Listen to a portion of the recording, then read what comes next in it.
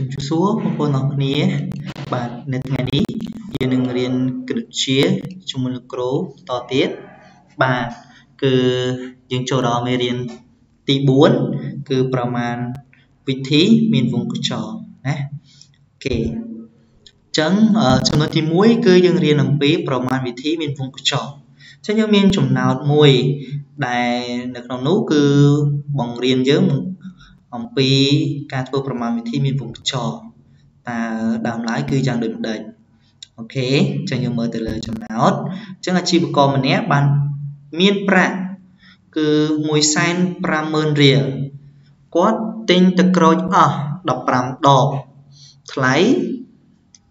4500រៀលក្នុងមួយដបតើអាជីវករនោះ នៅសល់ប្រាក់ប៉ុន្មានរៀល អញ្ចឹងនៅក្នុងចំណោទនេះយើងមានរបៀបនៃការដោះស្រាយគឺមានពីររបៀបរបៀបទី1គឺយើងធ្វើទៅតាមលំនាំរកអញ្ចឹងទៅអូខេអញ្ចឹងយើងមើលទៅរបៀបទី1គឺរបៀបទី1គឺយើងរកថ្លៃទឹកក្រូចទាំងអស់សិនបាទដោយសារទឹកក្រូចមិញគឺទិញប្រហែល15ដបហើយថ្លៃវាគឺ4500រៀលក្នុងមួយដបអញ្ចឹងអឺយើងយក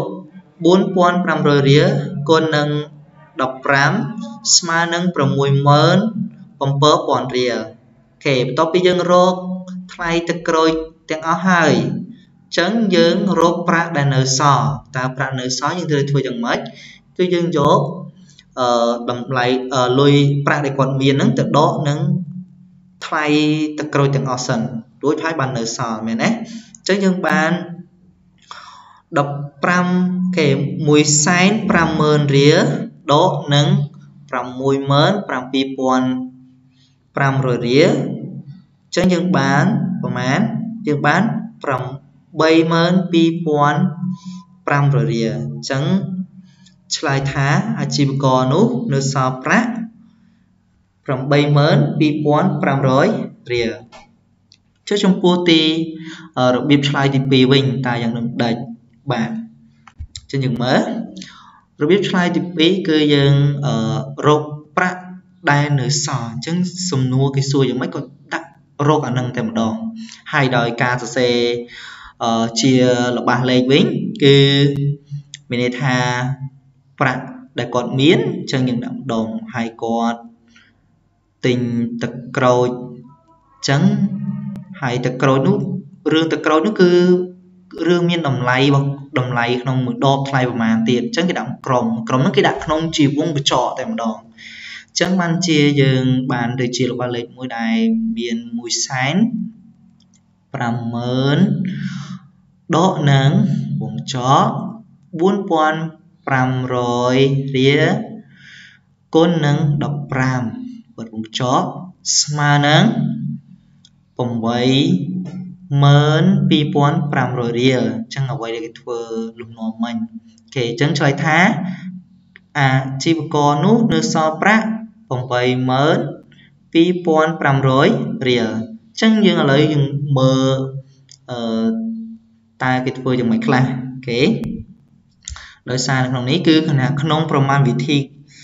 ដែលមានវងកញ្ចក់ដូចនៅរបៀបទី2អញ្ចឹង យើងត្រូវធ្វើប្រមាណវិធីក្នុងវងកញ្ចក់ជាជាមុនអញ្ចឹងអឺយើងមើលទៅលើលំហាត់ខាងក្រោមគឺយើងមានពីរលំហាត់ណាអញ្ចឹងលំហាត់នេះចូលធ្វើប្រមាណវិធីខាងក្រោមអញ្ចឹងប្រមាណវិធីក្នុងវងកញ្ចក់នេះកយើងមើលក5800បូកនឹងដាក់វងកញ្ចក់2408ដកនឹង305 តើស្មើនឹងប៉ុន្មានអូខេអញ្ចឹងកាលណាយើងធ្វើប្រមាណវិធីដែលមានវងកញ្ចក់មិញគេថាឲ្យយើងធ្វើអាក្នុងវងកញ្ចក់មុនអញ្ចឹងក្នុងវងកញ្ចក់មុនឃើញប្រមាណបាទអញ្ចឹងដើម្បីយើងសរសេរបន្តអាក្រៅពីវងកញ្ចក់យើងដាក់វាមកដដែលសិនមកដាក់អាម៉ាន5800បូកដាក់ សញ្ញានឹងមកវិញមកសិនមកព្រោះព្រោះនឹងវានៅក្រៅវងកញ្ចក់មែនទេអញ្ចឹងឥឡូវយើងគណនាក្នុងវងកញ្ចក់តើក្នុងវងកញ្ចក់ប្រមាណដកនឹងម៉ានអូខេយើងមាន2408ដកនឹង305អូខេនេះចឹងនៅពេលយើងដកមកយើងបានចម្លើយប្រមាណគឺយើងបាន2103ចឹងបន្ទាប់ពីយើងកណនីក្នុងមុខកញ្ចក់រួចហើយយើងយកមកដាក់ នៅបន្ទាប់នេះកន្លែងកន្លែងនេះយើងក្នុងមុខកញ្ចក់នេះយើងអត់ដាក់យើងបូកជាមួយនឹងចម្លើយរបស់វាគឺ2103ចឹងបន្ទាប់ពីយើង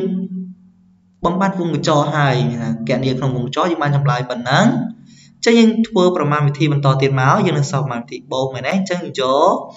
5800បូកនឹង2103អញ្ចឹងបានចម្លើយប៉ុន្មានស្មើប៉ុន្មានបងអូខេ បូកមើលបានអញ្ចឹងយើងបាន7903ចាឥឡូវយើងមើលទៅលំហាត់ខវិញម្ដងលំហាត់ខយើងមានវងកញ្ចក់នៅខាងមុខអញ្ចឹងយើងត្រូវកណនីក្នុងវងកញ្ចក់សិនមែនទេអញ្ចឹងកណនីក្នុងវងកញ្ចក់បាទអញ្ចឹងក្នុងវងកញ្ចក់យើងបាន3500គុណនឹង100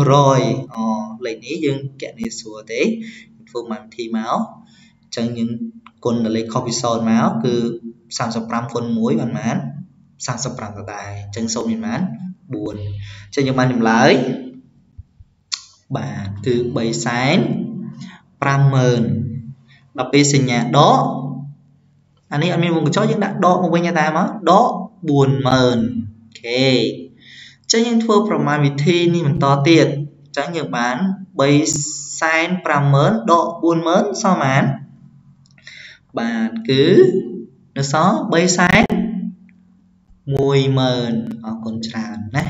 អូខេអញ្ចឹងយើងមើលក្នុងប្រយើងនៅបញ្ជាក់បន្តទៀតថាក្នុងប្រមាណវិធីដែលមានវងក្រចក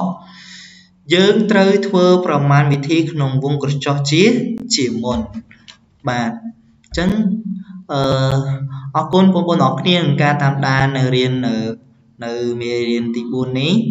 គឺរៀនអំពីមេរៀនមានប្រមាណវិធីមានវងកញ្ចក់ចំណុចទី1គឺយើងរៀនអំពីប្រមាណវិធីមានប្រមាណវិធីមានវងក្រក្រចកអញ្ចឹងកាលណា